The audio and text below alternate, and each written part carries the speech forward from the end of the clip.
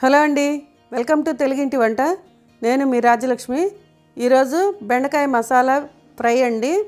గుత్తి వంకాయ టైప్లోనూ చేసుకోవచ్చు. చాలా ఈజీగా టేస్టీగా తయారు చేసుకోవచ్చు.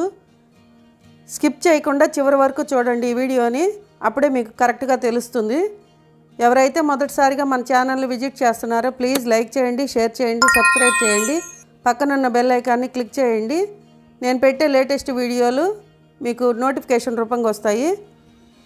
స్టవ్ మీద ప్యాన్ పెట్టుకొని రెండు స్పూన్లు పచ్చిశనగపప్పు వేసుకుందాము. ఇది లో ఫ్లేమ్లో పెట్టుకొని నిదానంగా వేయించుకుంటే బాగుంటుంది మంచి టేస్ట్ వస్తుంది. ఇది సన్న సెగ మీదనే వేయించుకోవాలి. ఒక స్పూను ధనియాలు ఇది కూడా పచ్చివాసన పోయేంత వరకు వేయించుకోవాలి. పావు స్పూను మెంతులు వేసుకుంటే బాగుంటుంది. ఆరోగ్యానికి మంచిది మంచి ఫ్లేవర్ వస్తుంది. మిరపకాయలండి ఒక ఐదు ఆరు పచ్చి ఎండు మిరపకాయలు. ఇవి కూడా పచ్చివాసన పోయేంత వరకు వేయించుకోవాలి. రెండు స్పూన్లు తెల్ల నువ్వులు. కొబ్బరి వేయటం లేదండి. ఇవి వేస్తే బాగా టేస్ట్ ఉంటుంది ఆరోగ్యానికి కూడా మంచిది. గ్యాస్ పాము అవ్వదని చెప్పని నేను దీనికి వేస్తున్నాను. మీరు కావాలంటే కొబ్బరి కూడా వేసుకోవచ్చు. ఇవన్నీ దోరగా వేయించుకున్న తర్వాత ఒక స్టవ్ ఫ్యాన్ ప్యాన్ పెట్టి కొంచెం వేరుశనగ పప్పులు వేయించుకుందాము. అవి కూడా బాగా పచ్చివాసన పోయేంత వరకు వేయించుకుంటే బాగుంటుంది. బాగా క్రిస్పీగా ఉన్నప్పుడే తీయాలి.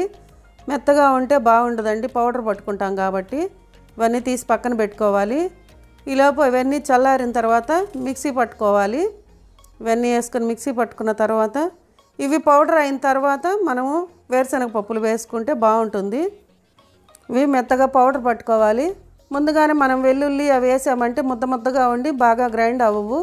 ఇప్పుడు వెల్లుల్లి వేరుశనగపప్పు కొంచెం చింతపండు టేస్ట్కి తగినంత సాల్టు మీకు టేస్ట్కి తగినంత వేసుకోండి.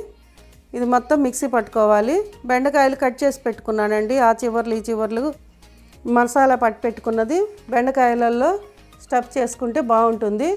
సేమ్ మనకి వంకాయలు ఎలా తయారు చేసుకుంటామో అలాగే స్టఫ్ చేసుకోవాలండి ఇవి. చాలా టేస్ట్ ఉంటుంది. సాంబార్ అన్నంలోకి కానీ చారు కానీ నంచుకోవటానికి చాలా బాగుంటుంది. ఒట్టిదైనా కూడా అన్నంలో బాగా కలుస్తుంది. ఖచ్చితంగా ట్రై చేయండి.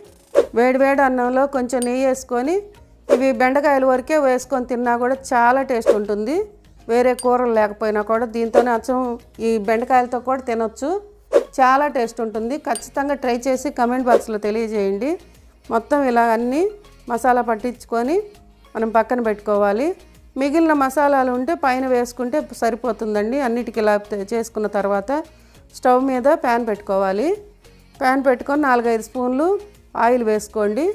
ఇలా ఒకటి ఒకటిగా పేర్చుకొని సన్న సెగ మీద పెట్టుకోండి. లేదంటే మళ్ళీ మాడిపోతాయి.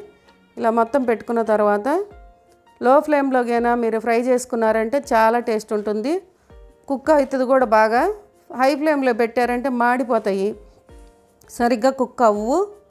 ఇలా మొత్తం తిప్పుకుంటూ సన్న సెగ మీదనే ఫ్రై చేసుకోండి. ఇది ఖచ్చితంగా ట్రై చేయండి. రెగ్యులర్గా ఫ్రై చేసుకుంటాం మనము. పులుసులు చేసుకుంటాం. ఇది కూడా చాలా బాగుంటుంది. ఖచ్చితంగా చూడండి. మూత పెట్టి తీసిన తర్వాత కొంచెం మగ్గినాయి కదా.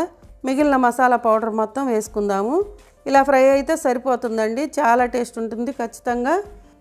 మిగిలిన మసాలా వేసుకోవడం వల్ల మనకు అన్నంలోకి కూడా కలుస్తుంది. ఇది చాలా బాగుంటుంది. మీకు మసాలా పైన వేసుకోవడం ఇష్టం లేకపోతే వట్టి ఫ్రై మాత్రమే చేసుకోండి. ఆ మసాలా పక్కన పెట్టేసుకొని వేరే దానిలో కూడా వాడుకోవచ్చు. సాంబార్ పొడిలాగా కూడా వాడుకోవచ్చు అండి ఇది. ఇంతేనండి. చాలా ఈజీగా బెండకాయ మసాలా ఫ్రై రెడీ. మీకు నచ్చింది కదా? ఖచ్చితంగా ట్రై చేసి ఎలా ఉందో కమెంట్ బాక్స్లో తెలియజేయండి. ఈ వీడియో కనుక నచ్చినట్లయితే ప్లీజ్ లైక్ చేయండి షేర్ చేయండి సబ్స్క్రైబ్ చేయండి. ఇలాంటి మరెన్నో వెరైటీ రెసిపీస్ కోసం టేస్టీ హెల్తీ రెసిపీస్ కోసం చూస్తూనే ఉండండి. మీ తెలుగింటి వంట. Thank you.